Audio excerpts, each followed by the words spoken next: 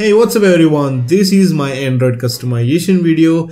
In this video I will show you how you can get this kind of home screen on your phone. The kind of setup I use where I can access all my favorite apps easily as well as I can watch my beautiful wallpaper.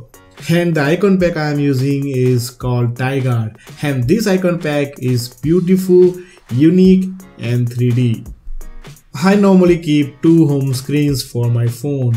On my first home screen, from top I use one Zooper widget following 12 frequent used apps.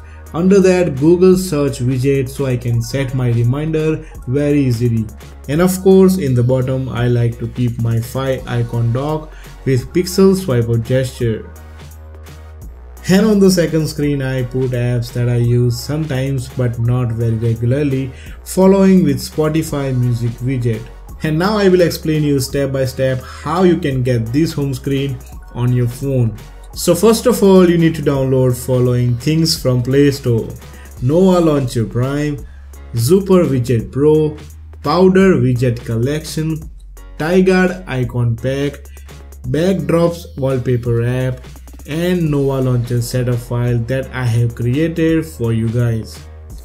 Once you download and install everything, you need to open Nova Launcher Prime.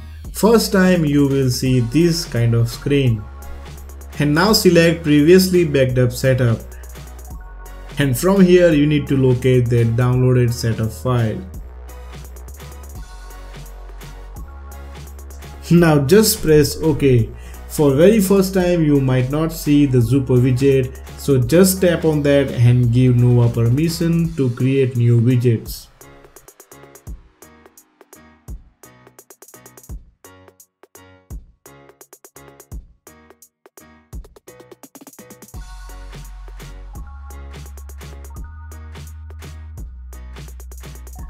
And now do the same thing for home screen number 2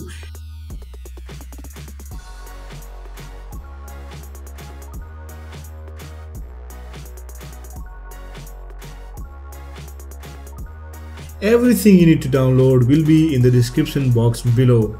And now you can enjoy this beautiful setup on your phone and also you can share this setup with your friends too. Like this video if you want to watch second episode of this series. I hope you enjoyed this setup and the video. This is Nash and I will see you next time.